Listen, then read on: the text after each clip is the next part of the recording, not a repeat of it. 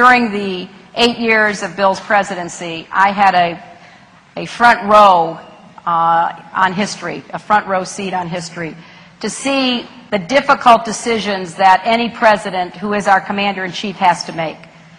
And as you may recall, uh, you know, the president then, President Clinton, had to make decisions about dealing with, you know, ethnic conflict, had to deal with terrorism. And I learned both what works and what doesn't work. And I saw that but I came away with the understanding that the president has to be very thoughtful and has to think about consequences.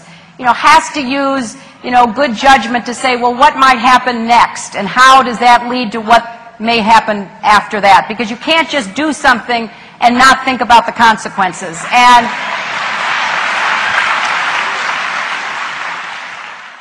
I think that I come both with the experience of being right there in the White House and from my own experience on the Armed Services Committee and my own evaluation of what we need to do to make America safe. I, I just want to underscore a point. Some, some people may, may be running who will you know, tell you that we don't face a real threat from terrorism. I'm not one of those. I think we do. I think we have serious enemies who wish to do us serious harm. I object to the way we have gone after them. I believe that we need to have a much broader worldwide effort to isolate, de deter, and defeat the terrorists than what this president has led, and that's what I will do.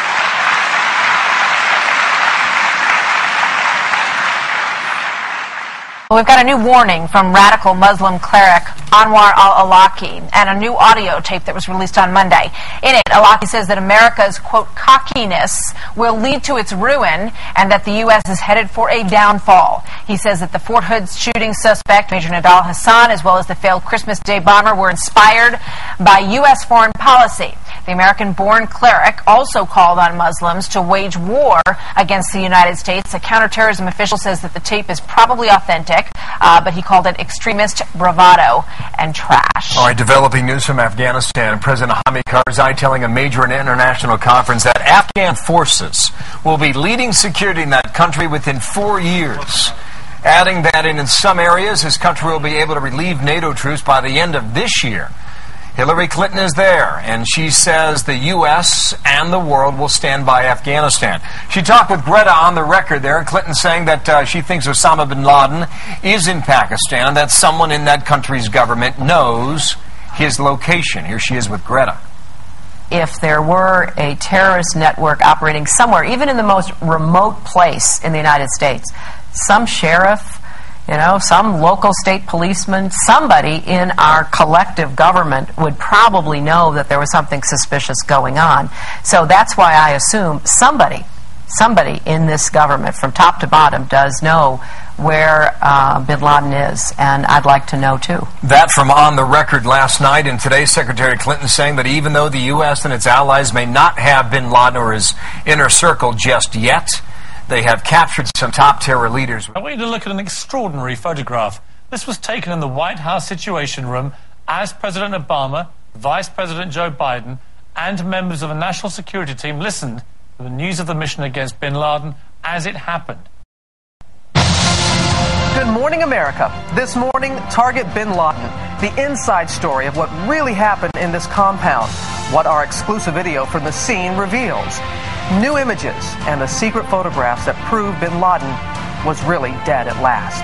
Shooting the messenger, the courier to bin Laden who picked up the phone and unknowingly set in motion the dramatic chain of events that led American forces to Osama's bedroom. The longest wait inside the nerve wracking moments in the Situation Room. Joe Biden clutched rosary beads, Hillary Clinton with her hand to her mouth. Did the president and his team watch bin Laden die live on video, half a world away? From ABC News, live in Times Square, Tuesday, May 3rd. This is a special edition of Good Morning America. Target Bin Laden, the death of public enemy number one, with Robin Roberts and George Stephanopoulos. And good morning, everyone. The world's still reacting. So many new details coming in overnight about the covert operation that took out Osama bin Laden. We're learning from the White House just how tense it was inside that situation room. As you said, there are so many questions coming out as we look one more time. Let's put up that exclusive video. Only ABC News has this video from inside the compound where Osama bin Laden had lived for five or six years, according to some reports. We're going to take you through room by room what was found inside that compound as we ask a lot of questions coming out. How real is the threat of retaliation by Al Qaeda right now? Was Pakistan protecting bin Laden? How could he live so close to a military academy, a thousand feet from the military academy for so long? We're going to talk to the President Obama's top counterterrorism advisor about all that. But let's start off our team coverage with Jake Tapper at the White House. Jake? Indeed, public enemy number one is dead. Last night at the White House, in a room of Democrats and Republicans, there was one announcement everyone could applaud. Last night, uh, as Americans learned that the United States had carried out an operation that resulted in the capture and death of Osama bin Laden, uh, we. But just over one day before, no one was clapping. It was uh, clearly uh, very tense a lot of people holding their breath. The president and his national security team were in the situation room, riveted, watching that elite SEAL team's precision strike unfold. As Vice President Joe Biden held on to rosary beads, and just look at the tension in Secretary Hillary Clinton's face. Minutes passed like days. Critical moments when one of the Black Hawk helicopters was forced to make a hard landing. Even as bin Laden's body and the Navy SEALs were being extracted from the top secret operation, Pakistani fighter jets were scrambled to investigate. We were concerned that if the Pakistanis uh, decided to uh, scramble jets or whatever else, they didn't know who was on those jets. Thankfully, the team got out. After the firefight, two women identified bin Laden. And back in Afghanistan, the SEAL team sent photographs back to the CIA for facial recognition analysis. With a 90 to 95% match, the president said, We got him. The desire for pictures of a dead bin Laden and DNA evidence of his death were a main reason the president made the call for boots on the ground. In March, the president rejected a proposal to bomb the compound, concerned that bin Laden's body would be vaporized, making any proof of his death impossible. But as recently as last Thursday night, three days before the raid, President Obama had made no final decision. I'm not going to decide this in this room, the president told his national security team. But on Friday morning, the order came in. He said, It's a go. But on September 11th, she is the leader New Yorkers had hoped she'd be. There is absolutely no need for anyone anywhere to panic. We have a lot of work ahead of us, and that work includes uh, the identifying uh, of those who are responsible for this cowardly and evil act and holding them accountable wherever they might be, however long it would take.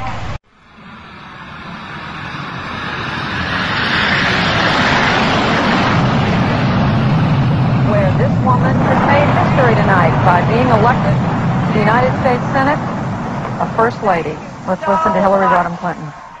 Mr. President, this amendment goes to the heart of our obligations to one another with respect to Homeland Security. It arises out of the attacks of 9-11, the extraordinary physical damage that has been done to thousands and thousands of New Yorkers and other Americans because they responded to that disaster, because they worked in the area of Ground Zero, because they lived or volunteered there. Each of us is marked in our own way by the events of five years ago.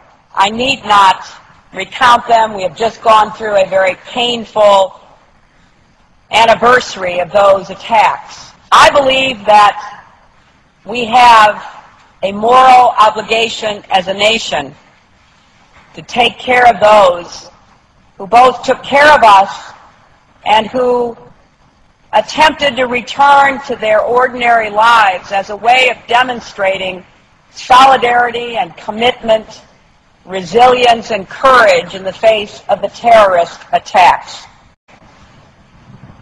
Let's not have any more victims of the terrorists. Let's not let bin Laden and Al Qaeda claim any more Americans who died as a result of their evil attack on us. Let's band together and support those who need us in their hour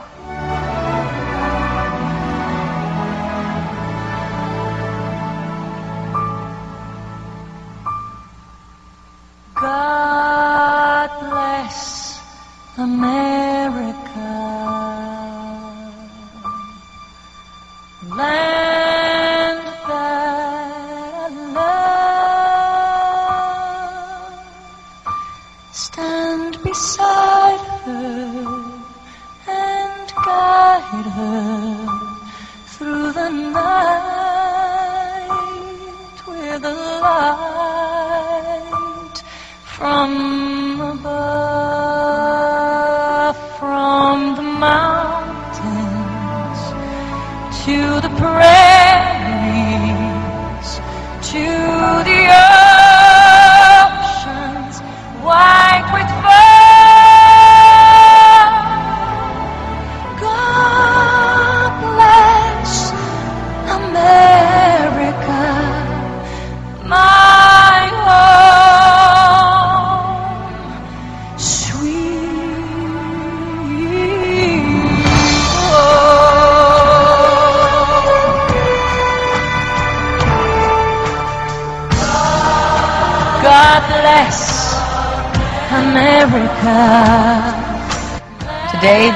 100% nonpartisan Government Accountability Office released the report that we requested.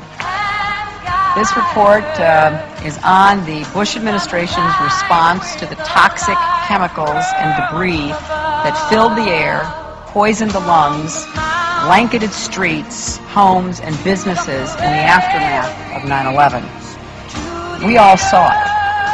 We smelled it, we tasted it, felt it, and we knew that it was going to be a problem.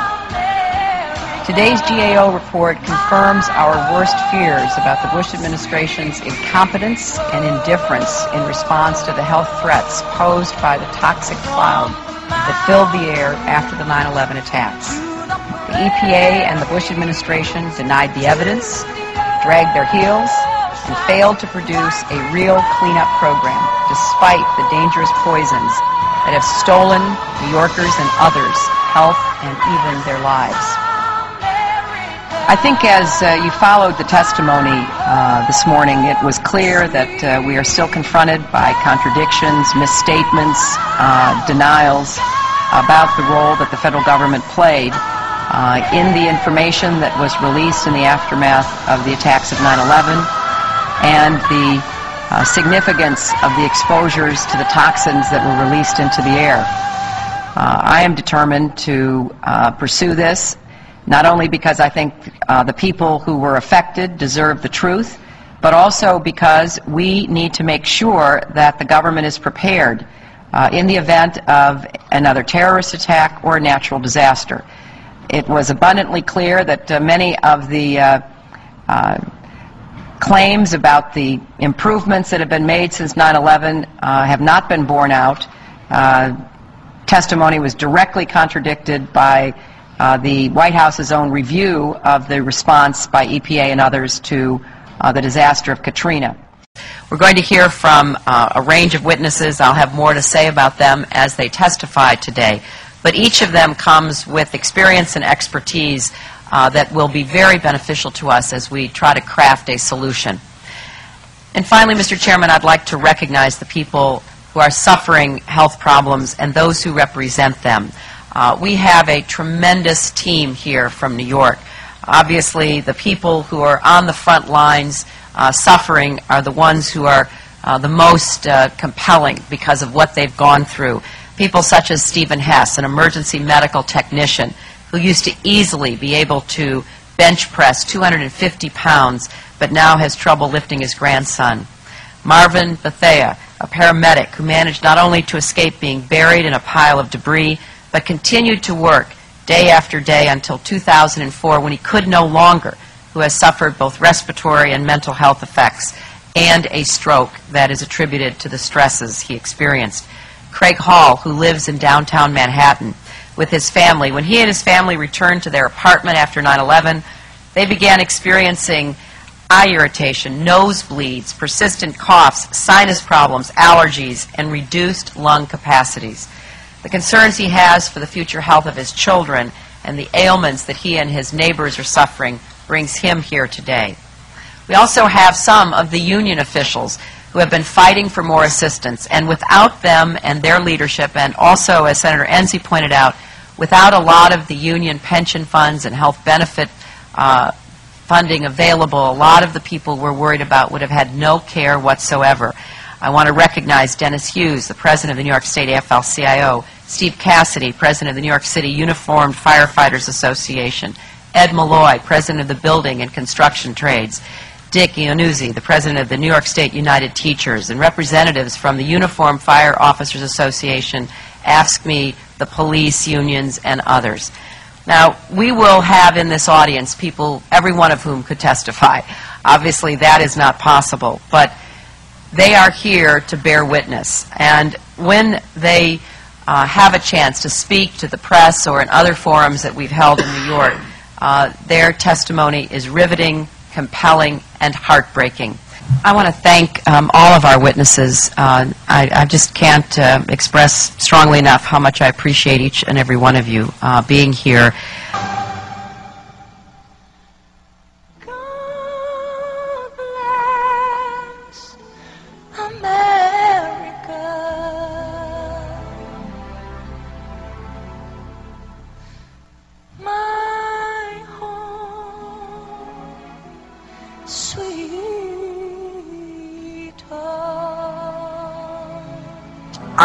Backyard had the largest terrorist attack ever in our country, and the world changed that day for us. As a mother, we were very concerned about the air quality downtown. We were concerned about what impact this could have on our six and ten year old kids. We got conflicting signals from different government agencies all the way up to the president and to the former head of the EPA, Christine Todd Whitman, saying that the air quality was safe. We should come back home. We should go back to work. And we find out that the air was not safe. A lot of people are very sick. The rescue workers that came to clean up our neighborhood, a lot of residents are sick.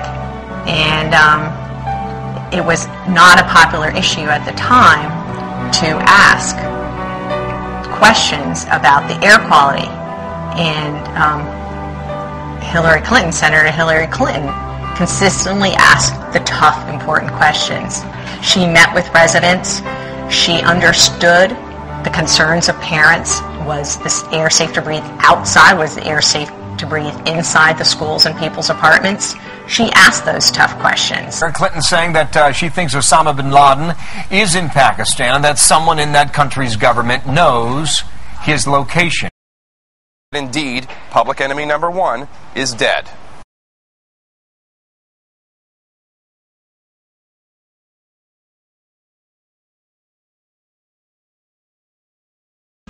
To Hillary Clinton, keep fighting for us. Team HillaryClinton.com.